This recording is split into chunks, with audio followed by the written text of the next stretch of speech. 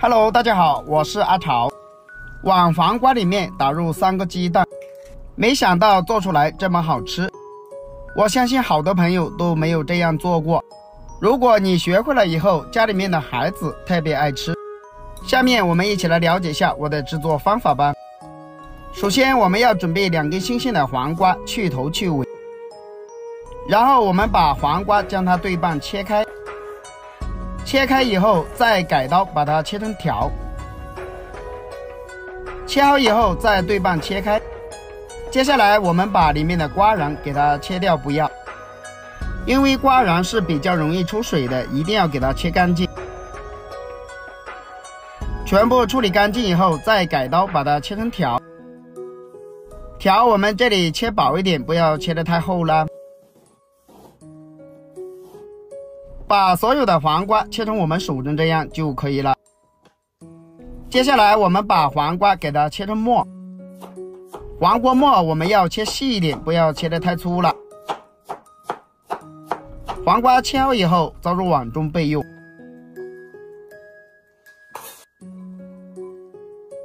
接下来我们准备一根火腿肠，把火腿肠给它对半切开。切开以后，再改刀把它切成条就可以了。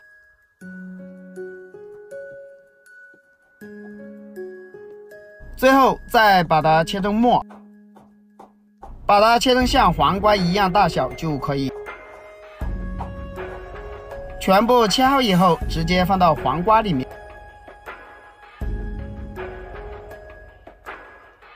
接下来准备三个鸡蛋，打入黄瓜里面。像我这样一个一个的给它打进来，打进来以后，像这样子就非常的漂亮啦。然后我们用筷子将它搅拌一下，搅拌均匀。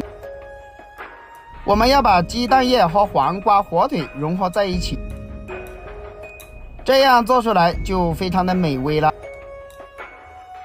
一定要给它多搅拌一会，搅拌均匀。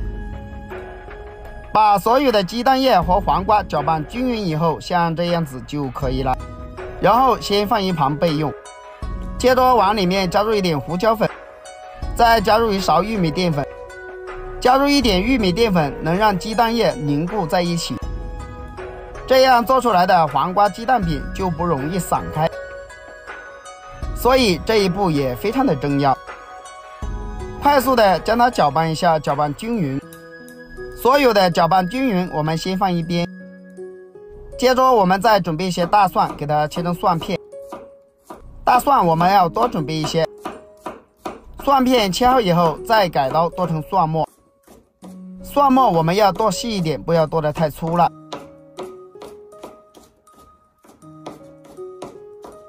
蒜末全部剁好以后，装入碗中备用。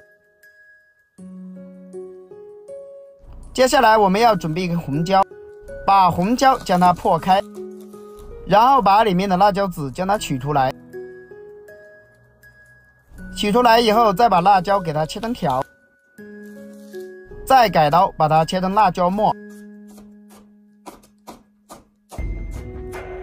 辣椒切好以后，装入碗中备用。准备一把小葱，把它切成葱花。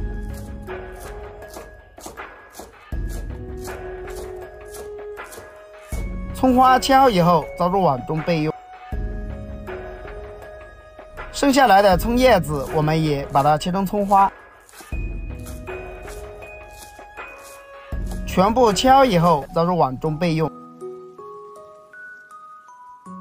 接着我们要准备一个西红柿，将它对半切开，然后把西红柿的硬心切掉，不要了。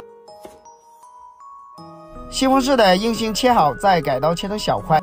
然后再切成薄片，然后把西红柿切成细细的末。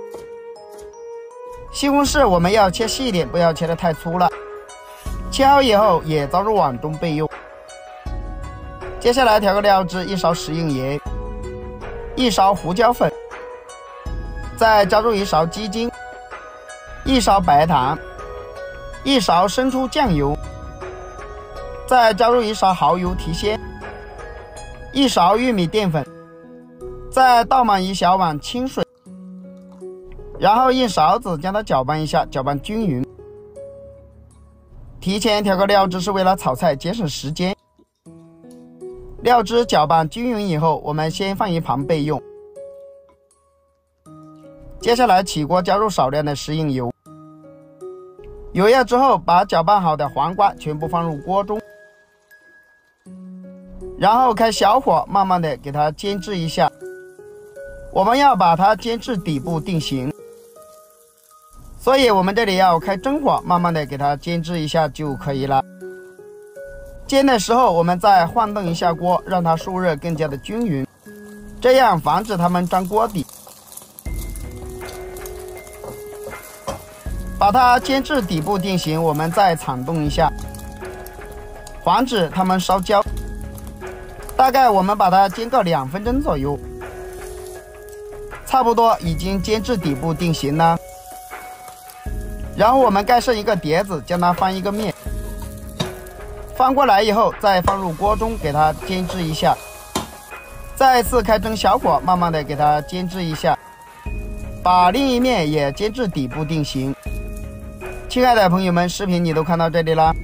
如果我的视频对你有帮助的话，就动动您发财的小手，给我点个赞呗！感谢大家一直以来对我的支持与鼓励。全部煎至底部定型，差不多就可以出锅了。把它放到碟子里面，先放一旁。接着再起锅加入少量的食用油。油热之后，把西红柿放入锅中，给它翻炒一下。把西红柿给它炒出汁水，把西红柿全部给它炒熟。西红柿炒出汁水以后，再把蒜末、辣椒全部放入锅中。这里我们开大火，快速的将它翻炒一下，翻炒均匀。把所有的配菜给它炒熟、炒香。全部炒香以后，再把调好的料汁放进来。料汁加进来以后，我们开大火给它收一下汁，把所有的汁收至浓稠，把它收汁到黏黏的感觉就差不多了，像这样子。然后把它淋在黄瓜鸡蛋饼上面，就这么一道美味又好吃的黄瓜鸡蛋饼就这样做好了。黄瓜鸡蛋拿来像我这样做，大人小孩都特别爱吃。再撒上一点葱花，点缀一下颜色，哇，真的是太美味了！吃的时候，我们用铲子将它铲成小块；想吃的时候，我们切个小块就可以开吃了。而且这样做出来的黄瓜鸡蛋饼还搭配了火腿，营养也是非常的丰富的。一道非常美味又好吃的黄瓜鸡蛋饼就这样做好了。这样做出来做早餐点心都是非常的美味的。好了，今天的视频就分享到这里了，我们下个视频再见吧。